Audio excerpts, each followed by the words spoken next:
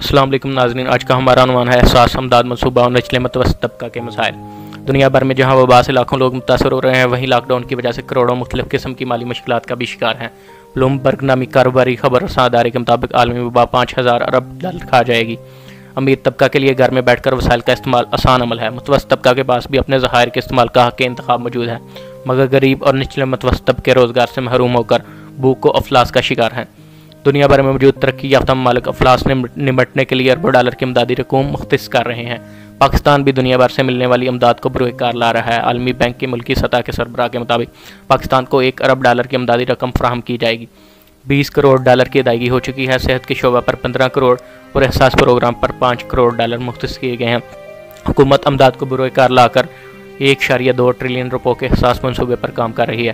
اس منصوبے میں بہت سے شعبے میں امداد کے ساتھ فوری طور پر ایک سو چالیس ارب روپوں پر مشتمل رقم، ایک کروڑ بیس لاکھ لوگوں میں بارہ ہزار روپے فی فد کے حساب سے جاری کی جا رہی ہے، جس کی ادائیگی کے حصول کے لیے سترہ ہزار مراکز قائم کیے جا رہے ہیں، جبکہ سات ہزار سے زائد مراکز کا کام انجام دے رہے ہیں۔ اس پروگرام کو وزیر اعظم کی معاون ثانیہ نشتر دیکھ رہی ہیں۔ بلا شبہ پاکستانی تحریک، تاریخ میں غریب طبقے کے لیے براہ راست مؤثر اور شفاف طریقے سے رقوم پہنچانے کا ایک بڑا منصوبہ ہے۔ وزیر اعظم اور ثانیہ نشتر کے اس منصوبے پر اقدامات قابل رشک ہیں اور وہ مبارکباد کے مستحق ہیں۔ مگر اس منصوبے کے حوالے سے بہت سی خامیاں بھی سامنے آ رہی ہیں۔ بہت سی خامیاں بھی سامنے آ رہی ہیں۔ ان خامیوں کو اشکار کرنا بھی ہماری ذمہ داری ہے۔ ثانیہ نشتر کے مطابق یہ بالکل شفاف سیاست سے بالاتر منصوبہ ہے جس میں بائیو میٹرک کی تصدیق کے تحت رقوم تقسیم کی جا رہی ہیں مگر بہت سے مقامات سے سیاسی نمائندوں کے ملوث ہونے کی تفصیلات سامنے آ رہی ہیں۔ جنگ اخبار کے مطابق فیصلہ آباد حلقہ ایک ایک سو نو این اے میں پی ٹی آئی کے کوارڈینیٹر ساجد حسان، ساجد حسین کی جیب سے احساس پروگرام کے پانچ لاکھ چوری ہو گئے۔ سوال یہ ہے کہ سیاسی نمائندے تک یہ رقم کیسے پہنچی؟ تفصیلات موجود ہیں کہ مختلف علاقوں میں سیاسی کرندے پانچ سو سے دو ہزار تک کی رقوم کی کٹوتی کر رہے ہیں۔ چالیس سے زائد زائد کمیشن خوروں پر مقدمات درج ہو چکے ہیں۔ احساس پروگرام کے بارے جعلی معلومات کے ذریعے ان پر طبقے سے مستفید ہونے کا دندہ بھی چل رہا ہے، جس میں پی ٹی اے نے بہت سو کے نمبروں کو بلاک کر دیا ہے۔ جعلی نوٹوں کے متعلق بغیر مصدقہ مطلعات پھیل رہی ہیں۔ جنگ اخبار کے مطابق بعض علاقوں میں انگوٹھا لگوا کر روپے نہ دینے کے واقعات بھی سامنے آ چکے ہیں۔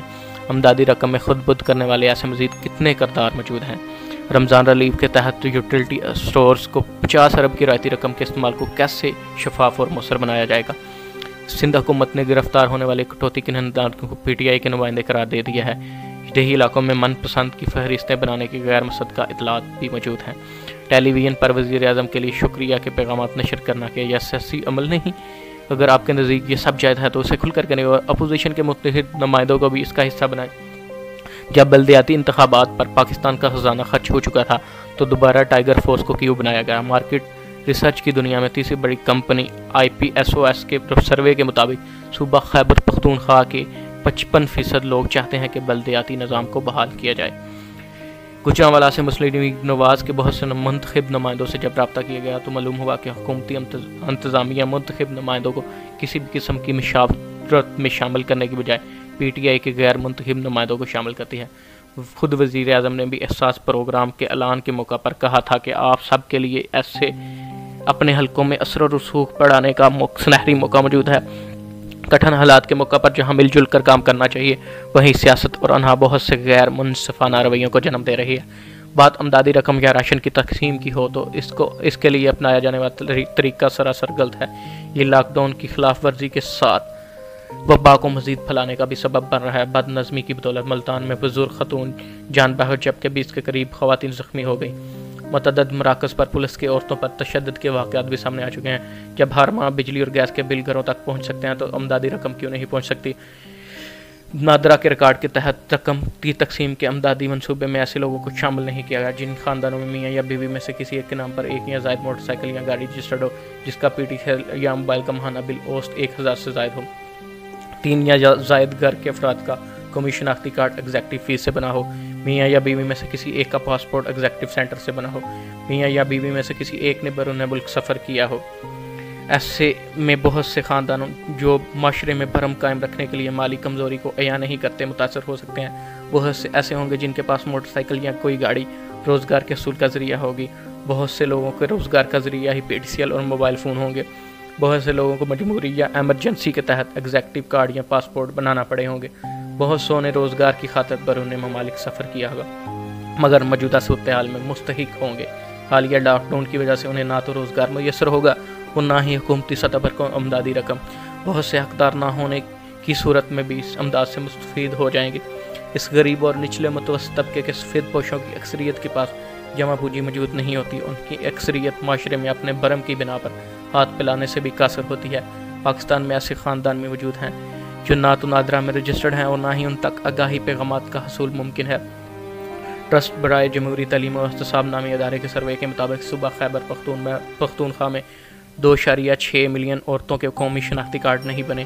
مارکیٹ ریسرچ کی دنیا میں تیسری بڑی company I P S O S کے سروے کے مطابق جب پاکستان بھر میں کرونا کے امدادی نمبر کے حوالے سے پوچھا گیا تو ہر پانچ میں سے تین لوگ اس کا جواب نہیں دے سکے۔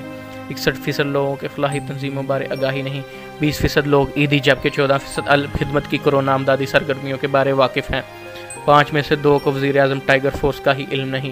ایسے بہت سے لوگ جو نہ تو قومی شناختی کارڈ رکھتے ہیں اور نہ ہی ان کے پاس کسی فلاحی تنظیم کی معلومات ہے اور نہ ہی وہ کوئی سیاسی وابستگی رکھتے ہیں۔ ان کے بھی متاثر ہونے کے خدشات موجود ہیں۔ افسوس کا عالم یہ ہے کہ ہمارے حکمت عملی بنانے والے اداروں نے کبھی اسلام آباد کی حدود سے نکل کر عام عوام کے مسائل کو پرکھا ہی نہیں۔ یہی وجہ ہے کہ ریاستی سطح پر آج ہمارے پاس ایسی معتبر معلومات موجود نہیں کہ ہم ملک بھر میں شفاف طریقے سے مستحقین کا تک امداد پہنچا سکیں۔ پبلک پالیسی کے ماہر حسان خبر کے مطابق موجودہ صورتحال کے زیر نظر اٹھارہ ملین تک لوگوں کی نوکریوں کے ختم ہونے کے خدشات موجود ہیں۔ اگر لاک ڈاؤن کا درانیہ بڑھتا رہا تو ان عداد و شمار میں اضافہ ہو سکتا ہے۔ ان کے نزدیک حکومت بہت سے دوسرے معاشی منصوبوں کو بھی کرونا میں شمار کر رہی ہے، جیسے ایکسپورٹروں کو رقوم کی واپسی گندم کی خرید کے لیے مختصر رقم اور بے نظیر انکم سپورٹ وغیرہ ان کے لیے نزدیک احساس نقد پروگرام میں گبن کے خدشات بھی موجود ہیں۔ اس کے برعکس حکومت یہ رقم بجلی کے بلوں میں چھوٹ دے کر شفاف طریقے سے حقداروں تک پہنچا سکتی تھی۔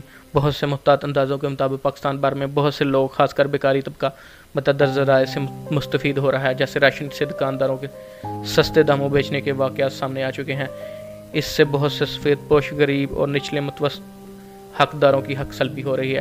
عالمی بینک کے مطابق پاکستان میں اکثریت نچلے متوسط طبقے کی ہے۔ چوبیس فیصد کے قریب لوگ خطے غربت سے زندگی، نیچے زندگی بسر کر رہے ہیں۔ معلومات کے مطابق امداد کے حصول کی خاطر اساس ادارے کو چھ کروڑ بائیس لاکھ پچاس ہزار لوگوں کے پیغامات مصول ہو چکے ہیں۔ ایسے میں ایک کروڑ بیس لاکھ لوگوں تک امداد کی رسائی ناکافی ہے۔ ان میں اکثریت ایسے لوگوں کی ہے جو متعدد بار مستفید ہوتے ہیں۔ باقی کروڑوں سفید پوش مستحقین کے امداد سے محروم رہنے کے خدشات موجود ہیں۔ حکومت کو نجی اداروں کو کمپیوٹر اور ٹیکنالوجی کی مدد فراہم کرنا چاہیے تاکہ امدادی عمل کو شفاف بنایا جا سکے۔ پنجاب حکومت کا دکانوں اور گھروں کے بلوں کے بارے اقدام قابل تعریف ہے، جن کے تحت مالکان ساٹھ دن تک کرایہ داروں کو تنگ نہیں کریں گے۔ مگر خدشہ ہے کہ اس سے ایسے سفید پوش متاثر نہ ہو جائیں، جن کا گزر بسر ہی صرف کرایوں پر ہے۔ بہت سے چھوٹے کاروباری طبقے جیسے دکاندار، ریڈی بان وغیرہ بھی بری طرح متاثر ہو رہے ہیں۔ او بی آئی پینشرز بھی مشکلات کا شکار ہیں، انہیں بھی مالی معاونت کی ضرورت ہے۔ کرونا ریلیف فنڈ میں جو روپے جمع ہو رہے ہیں، امید ہے ان کی تفصیلات عوام تک پہنچائے